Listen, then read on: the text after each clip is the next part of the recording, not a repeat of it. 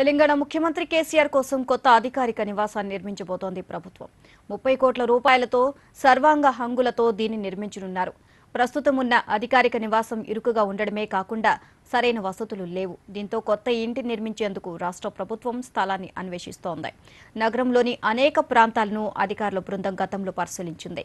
కానీ ఎక్కడా సరైన స్థలం దొరకలేదు. దీంతో ప్రస్తుతం బేగంపేటలో ఉన్న ముఖ్యమంత్రి అధికారిక నివాసం సమీపంలోనే కొత్త ఇంటిని కట్టబోతున్నారు. ఏ ఐఏఎస్ అధికారుల అసోసియేషన్ క్లబ్ పరిసరాల్లో స్థలాన్ని ఎంపిక చేశారు. సీఎం అధికారిక నివాసం కోసం మొత్తం తొమ్మిది ఎకరాలను సమీకరిస్తున్నారు. ఇందులోని రెండు ఎకరాల్లో ముఖ్యమంత్రి నివాసానికి కేటాయిస్తారు. మిగతా స్థలాన్ని ఆయన సిబ్బంది ఇతర అధికారుల ఇళ్ళ కోసం కేటాయిస్తారు. ఆ భవన సముదాయంలోని రెండు వందల యాభై నుంచి వెయ్యి మంది కూర్చునేలా మల్టీపర్పస్ హాల్ను నిర్మిస్తారు. అత్యవసర పరిస్థితుల్లో మంత్రివర్గ సమావేశాల నిమిత్తం కూడా ఓ హాల్ను నిర్మించి తలపెట్టారు. నూతన భవనంలో మూడు వందల వాహనాలను నిలిపేలా ఏర్పాటు చేయనున్నారు. సీఎంను కలిసి విజ్ఞప్తులు అందజేసే సాధారణ ప్రజల కోసము ప్రత్యేక ఏర్పాట్లు చేయబోతున్నారు. ఈ నివాసానికి సంబంధించిన పనులు చేపట్టేందుకు పది రోజుల్లో టెండర్లు ఖరారు కానున్నాయి. ఆరు నెలల్లోనే పనులను పూర్తి చేయాలని అధికారులు భావిస్తున్నారు. దీనికి సంబంధించి మరిన్ని అప్డేట్స్ను మా కరెస్పాండెంట్ నేతాజీని అడిగి తెలుసుకున్నాం. నేతాజీ చెప్పండి సీఎం కొత్త ఇంటి నిర్మాణం సంబంధించి అప్డేట్స్ ఏంటి?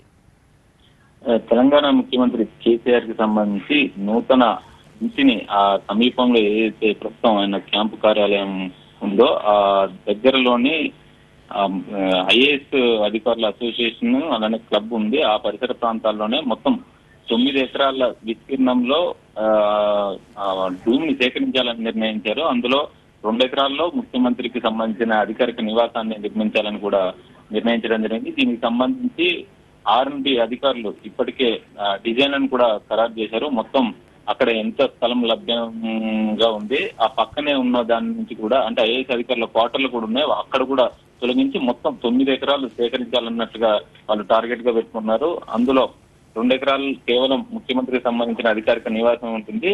మిగిలిన ఏదైతే ఏడు ఎకరాలు ఉంటాయో అక్కడ ముఖ్యమంత్రికి సంబంధించిన సిబ్బంది ఇతర అధికారులకు కేటాయించాలని నిర్ణయించారు. ఇక సీఎం కి సంబంధించిన అధికారిక నివాసంలో దాదాపు వెయ్యి మంది కూర్చునే విధంగా మల్టీపర్పస్ హాల్ను కూడా నిర్మించాలని ఆర్ఎండ్బి అధికారులు నిర్ణయించడం జరిగింది.